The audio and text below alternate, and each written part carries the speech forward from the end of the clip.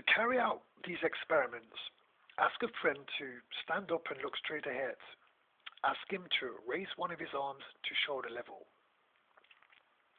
Place one of your hands under his upper arm and the other under his hand while standing in front of him. His arm will now be supported in an horizontal position by your two hands. Tell him to relax the muscles of his arm, repeating the instruction several times.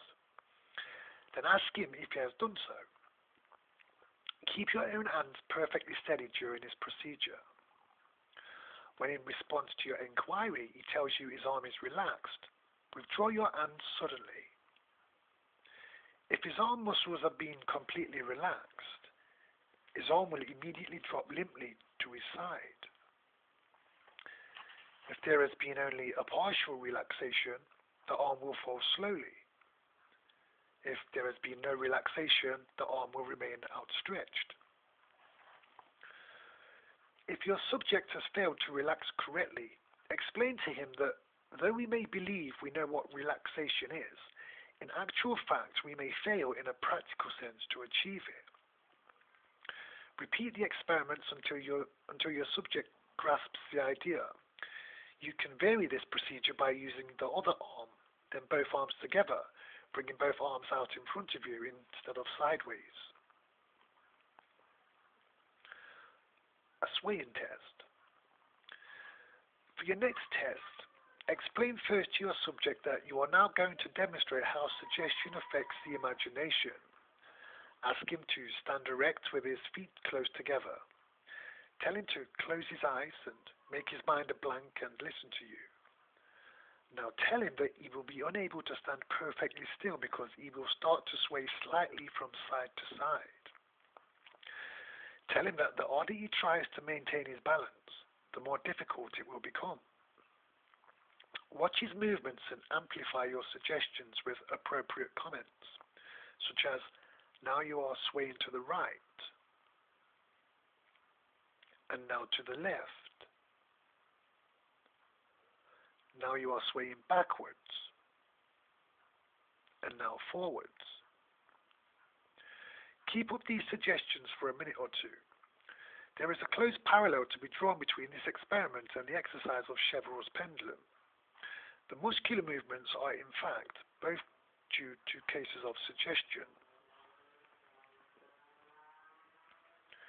Do not feel disappointed if your subject remained immovable. The reason for the failure may have been because the subject selected was consciously or unconsciously not cooperating, or perhaps because your suggestions were unconvincing, or some outside disturbance may have distracted his attention. There are many reasons why suggestions, both to ourselves and others, may fail from time to time. Do not be disappointed, but analyze what has happened. Remember, the main object of your experiment at this stage is to gain experience. The sway and test second stage. Next, ask your subject to stand upright again with his eyes closed and feet together. Stand behind him and say, I am going to place my fingers on the back of your neck. There. At the same time, firmly pressing your fingers on the base of his skull, and say, I am going to draw my finger backwards gently, and you will find yourself swaying backwards with it. Assure him that he will not fall because you will stop him as soon as he begins to sway backwards. Then, ve- then very steadily and slowly draw your hands backwards, and he will, if your suggestion has been convincing, start to sway backwards. Stop him by placing your hands on his shoulder. Repeat this experiment several times.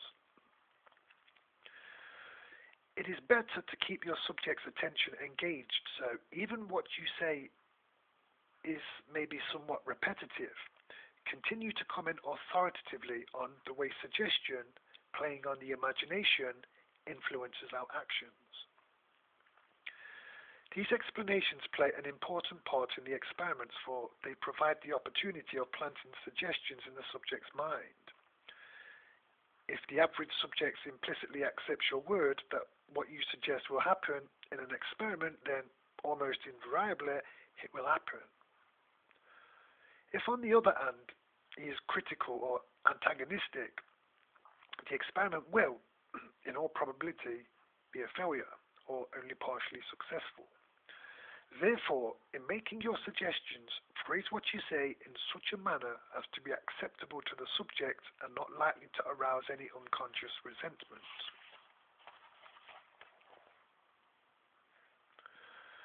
The swaying test's third stage. Proceed to say something on the following lines. The success of this experiment depends entirely on your ability to keep your mind clear just push all other thoughts out of your mind and listen to me. I'm going to place my fingertips on your temples. And as I draw my fingers, my hands forward, you will find yourself swaying forward. Whilst giving these instructions, illustrate what you are saying by placing your fingers on your own temples. And as you say the above words, you will find yourself swaying forward. Illustrate by actually swaying forward yourself. This little illustration, if deftly executed, exercises considerable influence on the subject. Next, say, that's right, put your feet closer together, your toes as well as your heels. Stand to attention, hold your head up, and look straight at me. Just balancing upright. Note the emphasized words. These are significant. As you say them, put your hands on the subject's shoulders and gently sway him backwards an inch or so then bring him forward again to the upright. See that he does not move his feet and that he does not raise himself up onto his toes. Now rock him gently backwards and forwards several times, telling him to let himself balance upright. The object of this is to loosen his calf muscles and see that they are not rigidly braced. When ready, tell your subject to look straight at you to keep his mind clear and whilst you are talking, stretch out your arms towards him and place your fingers lightly on his temples. Continue talking, and at what you judge to be the right moment, or if you feel a slight forward movement, draw your hands towards you, keeping your fingers still on his temples. At the same time, say, You are coming forward, forward, forward. A slow movement and considerable practice is necessary to calculate just when and at what rate the hands are to be removed. You can vary this experiment if you wish by having the subject close his eyes and keeping them closed throughout the test. Another suggestibility test is locking the subject's hands together. For the next attempt, instruct your subject to clasp his hands together. The standing position is best, but he may be seated if you wish. The palms of his hands should be pushed hard against each other and his fingers interlaced. Now ask him to think that his hands are so tightly fastened together that he will be unable to move them. Tell him to think that his hands have become stuck together and to keep repeating it to himself. Instruct him to look straight at you and under no circumstances to look away. Now place your hands outside his and press his hands together at the same time looking at him steadily and saying, press together firmer, tighter, tighter still. They are beginning to stick. They are sticking together tightly. You will not be able to get them apart. The harder you try, the more impossible it will be. Then pause and pronounce firmly, your hands are tightly fastened together. You cannot unclasp them. Remove your own hands from his, but continue to gaze fixedly at him and continue your suggestions. Some people, however hard they try, will be unable to get their hands apart. If he is unable to unclasp his hands, say to him in a quiet and confident manner, All right, stop trying. I'm going to count, and when I get to three, you will be able to un unclasp them. One, two, three. You can now open them. You will then be able to open them for your earlier suggestions have been neutralized.